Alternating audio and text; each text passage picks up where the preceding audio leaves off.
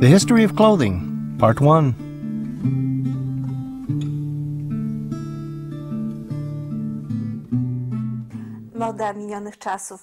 The fashion of past eras appeals to the imagination, appeals prompting bewilderment, often nostalgia. People in olden times not only looked different, as we see in paintings, sculptures, and photographs from past epochs, but they also expressed their social status and their national identity differently. status społeczny, swoją tożsamość narodową. Mm, just like us, they look to fashion in order to satisfy various human and spiritual needs, yielding a melange of ages and changing customs in the unchanging human desire to be attractive. This particular desire to look attractive is what distinguishes the fashions of Europe, the fashions of the West. Beautiful European attire is particular in that it requires a person to reveal its beauty as opposed to the Japanese kimono, which looks stunning when hung flat against the wall, as do many traditional costumes.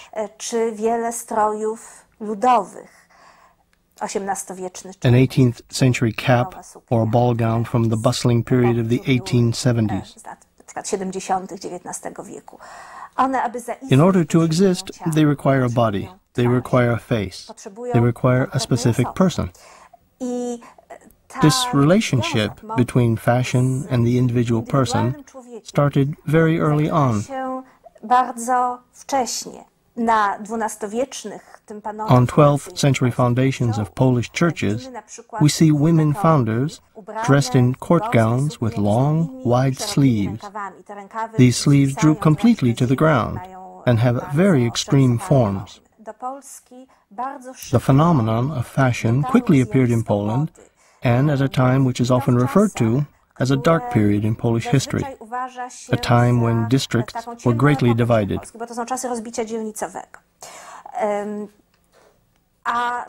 Meanwhile, it appears that these novelties from many areas of art, culture, and court culture were quickly adopted and convincingly reflected in works of art.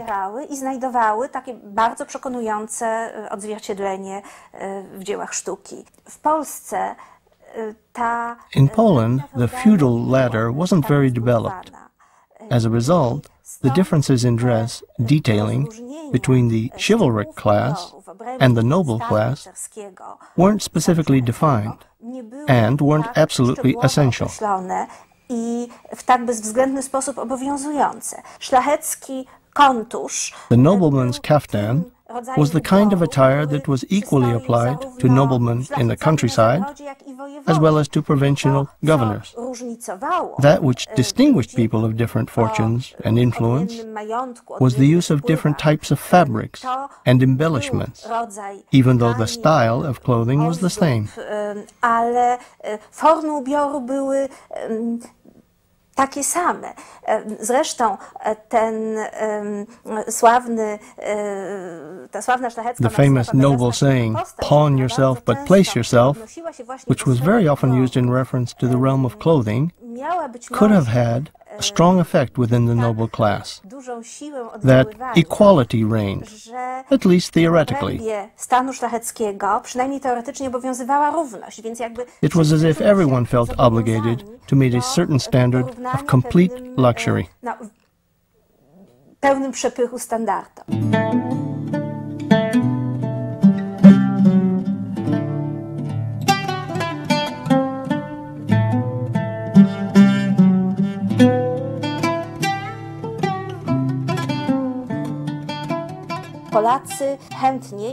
Poles were eager, and it was men who spent a lot of money on these sorts of goods.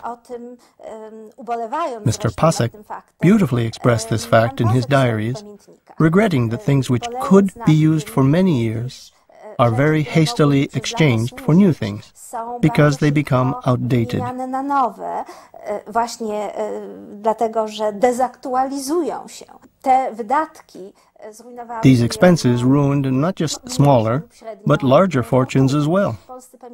Polish diarists, such as the underestimated Kitowicz, had an excellent feel for the functionality of clothing as a symbol of status. Admittedly, this was not formulated within the category of contemporary sociology, but they did register the process that fashion continues to develop until it reaches the common people. If a given thing is accepted and copied by too large a group of people, then it stops being the desired element of distinction, and people who have the means, the ambition, and the will to present themselves as belonging at the top of the social ladder immediately abandon it. At times it came about in an extremely spiteful way because influential men would find new novelties which were then adopted by those who were poorer. But as soon as they were, the richer men would pass the things down to their servants, and as a result, they forced their followers to do the same, even though their means were considerably smaller and they couldn't do so with the same ease.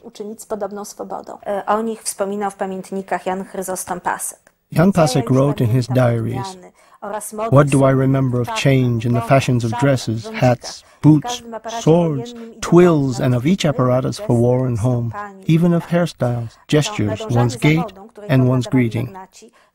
Keeping up with fashion, in which the magnate set the tone, exemplified the ambition of noblemen, especially by those in the court. This was an incessant chase. As the novelty started to be received, noblemen would renounce it as a thing of new ideas, and an item bought not long ago would be given to servants, forcing followers to do the same. And so, as Pasek rightly noticed, a fashion lasts as long as it doesn't get passed down to the common people. The tension between native attire and foreign attire was reflected in even the most intimate realms of life. This is how Jędrzej Kitowicz describes the influence of the fair sex on the adoption of foreign dress. There were two factors how women induced an abhorrence towards Polish dress in men. The first was that Poles, who carried themselves in the Polish way, were seen abroad as unpolished in the manners of courtship, with women brought along by fashionable men as a great courtesy. They behaved with old Polish manners. The second was that he, who presented himself as Polish, had to keep his mustache and couldn't shave it off without looking like a fool. Nothing was more repulsive to the female sex than a mustache, especially when they had a sufficient number of foreign suitors without mustaches, who were just as powdered, styled, corseted, and perfumed as the women. The supporters of strong, real power often dressed in Western fashions.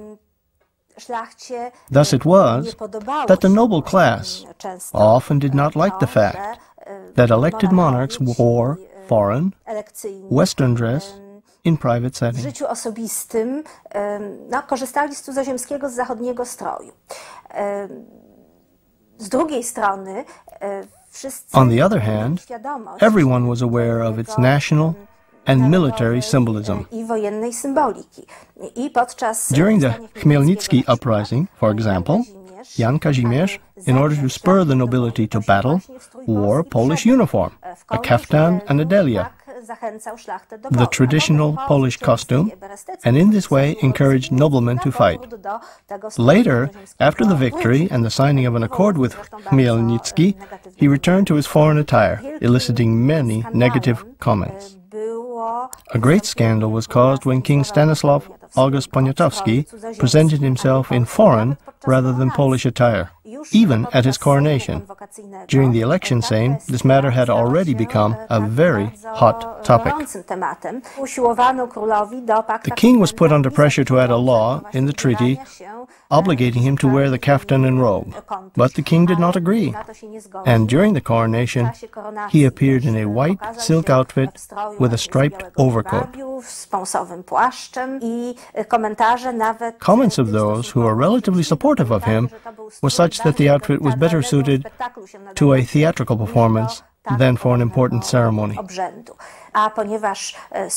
Because attire was the symbol of these fundamental traditions, the conflict between reformers and traditionalists was in the long run played out on the grounds of national dress. Rozegrał się w dużej mierze na płaszczyźnie stroju właśnie. I sławne były wymiany. Exchanges of malicious opinions were renowned between the king and Prince Radziwiłł, Mr. Lover, who epitomized the old Polish way of being, living and thinking. When the prince once appeared in the court in a very ragged kaftan, and the king brought the matter to his attention, the prince replied that he was wearing the robe as a descendant of the governor of Vilnius. It was a clear but very impolite allusion to the less magnificent royal ancestors. It's interesting to compare the portrait of Prince Janusz Radziwiłł, known from Henryk Sienkiewicz's Potop, painted in 1630 in Leiden during his studies abroad, shown wearing French court attire according to the latest fashion of the day, with his portraits painted 20 years later as the governor of Vilnius, where he is seen only in Polish e, attire. Kiedy jako wojewoda wileński e, jest portretowany już wyłącznie w stroju polskim. Please notice that Polish dress didn't always take the form of the kaftan and the robe. Żupana i kontusza. Tutaj widzimy go w tej pierwszej postaci. Here we see him in the first figure, a fur-lined coat and a representative wrap known as the delia, which had a large fur collar, long split sleeves, which were often worn over the shoulder, and clipped under the neck by a large decorative button. Here the prince demonstrates the beautiful accessories that were worn with Polish clothes.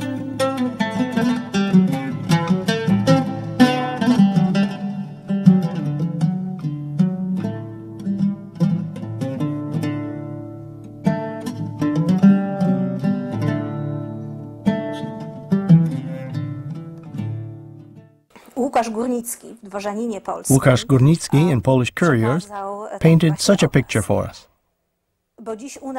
Today there are so many uniforms that the number is uncountable. This one done in Italian style, that one in Spanish, another in Brunswick.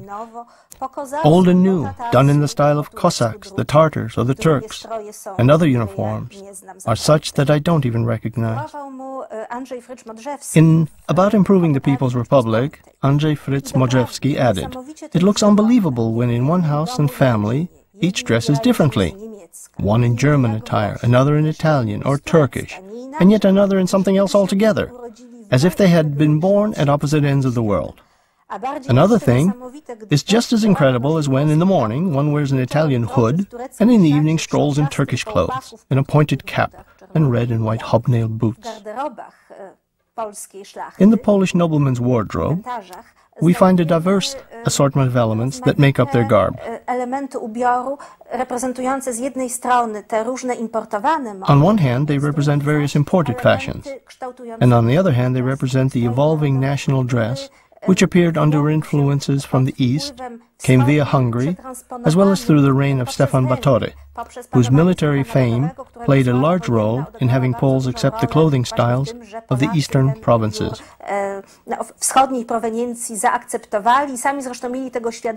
They were aware of this by saying that clothing is different from everything. It is long and is similar to Dalmatian or Hungarian. These diverse trends coexisted for some time, and, as I've mentioned, the choice of a certain garb was an expression of personal taste, not necessarily a political statement. This situation changed quite rapidly when Sigismund III took the throne. On one hand, he strove to limit noble freedom, but on the other hand, in his private life, he dressed in Western fashions.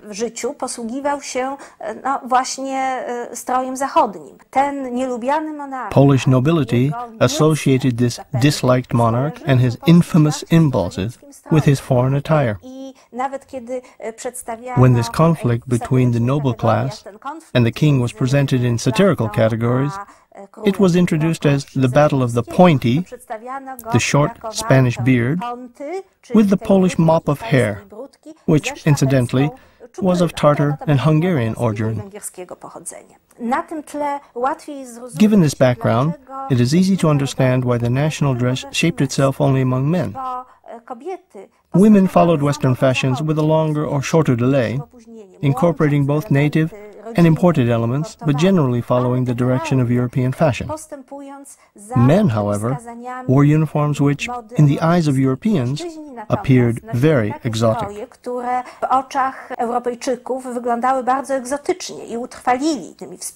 Polish legates, through their official journeys, strengthened the notion that even though Poland was a Christian nation, Poles carried themselves like the Turks, and as a result, their attire was different from that of the rest of Europe.